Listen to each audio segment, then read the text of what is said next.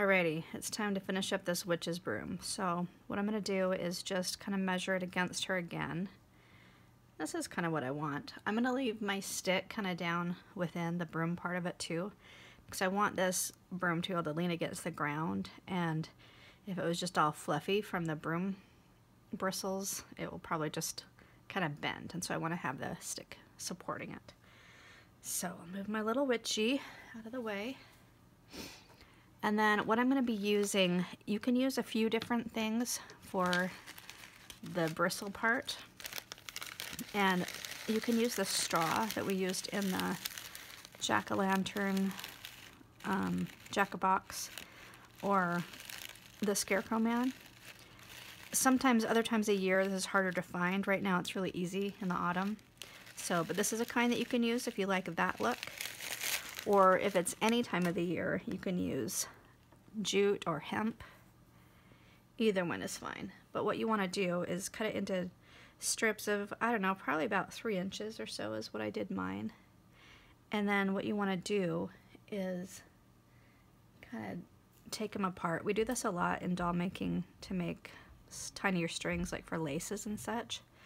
You can take it apart so you're down to two, or you can take it apart um, split them further. So you've got three. You can even go further than that if you would like.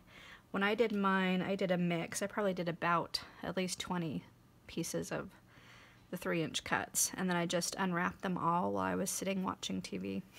Because it took a while to get it all unwrapped. And then what I also did is I kind of varied my thicknesses. Some are thicker and thinner than others, just so it was kind of more raggedy looking.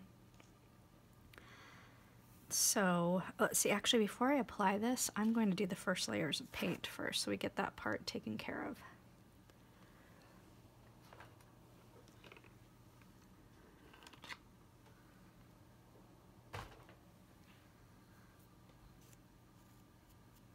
Alright, so where I want to start is actually with some um, some black.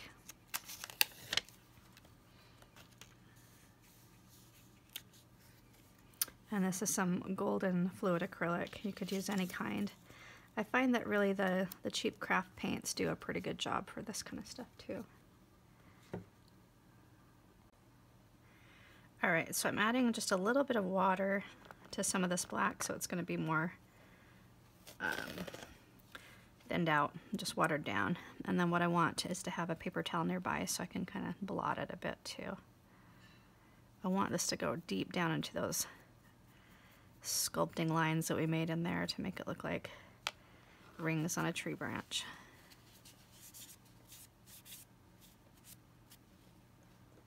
Pretty close.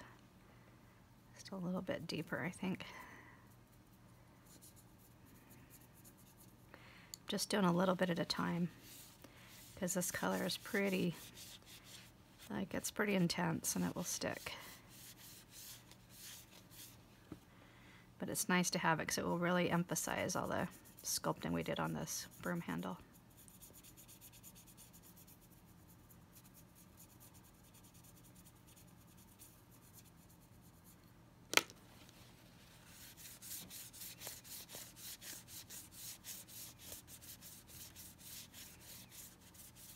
Okay, next what we want to do is use some of our brown, and I actually have two colors of brown I'm going to be using here. First is the Deco Art Burnt Umber. A bunch of that came out. And I also have the Folk Art Cocoa Bean. I just had the two different colors just for more depth and texture. You really don't have to have them or you could adjust your colors with your own paints just depending what you've got. But again, I want to keep it pretty thin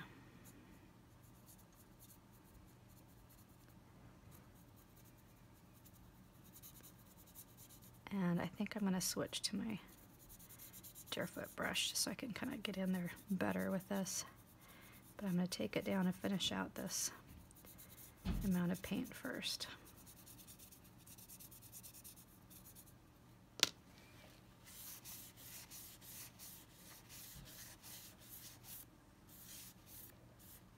Give it a nice woodsy kind of look to it.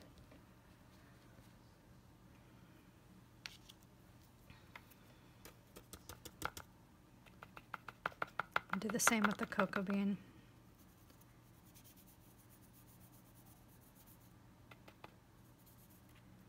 This one I kind of want to brush a little bit softer. But I'm using the Deerfoot brush because it's got pretty strong bristles. And they're letting me just kind of barely brush it or dig in deep if I want to. Some areas I do want more pinks. I don't want any of my wire showing. That was tying these two sticks together. Now if you want, you could just use one long dowel for this rather than two different sticks, but I wanted mine to be a little bit bent looking. Kind of more like a, a branch, and so that's why I did mine that way. Okay, now for my stick, I'm going to go in and actually paint it because it's going to be inside those bristles. Kind of giving it support so as it's being held by the art doll, it'll stand up properly still. It's not exactly a functional broom. It's more just for looks.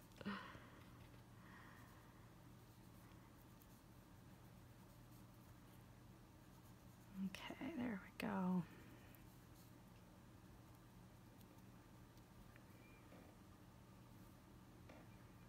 Okay, that's looking pretty good. I want to do another layer of black. And I still need to be holding on to this, so I'm just going to hold it while it's wet down there.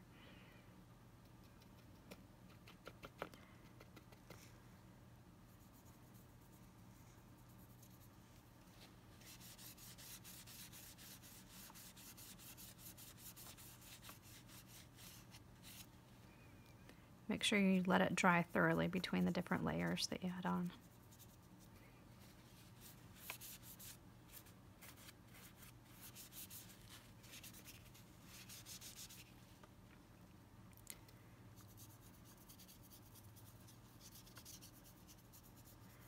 I'm adding the black again just to kind of darken up some of that brown and give it a little bit more dimension.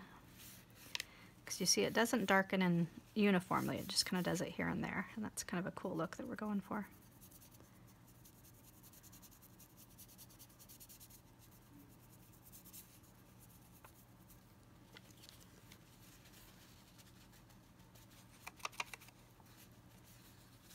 Alright, and I'm still having a little bit of trouble with some of those wires popping through, so I'm going to take a little bit of my paint. Just kind of dab it like that. Make sure it's got a few layers on top of it.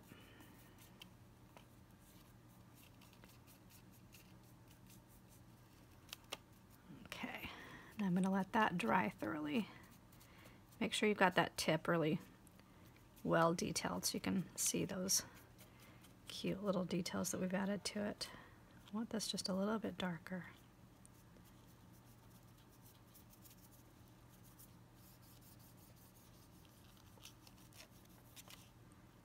Keep opening that up.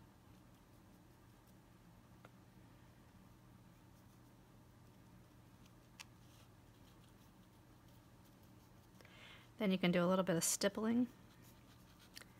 And again, this is just to vary the colors that you've got going on here.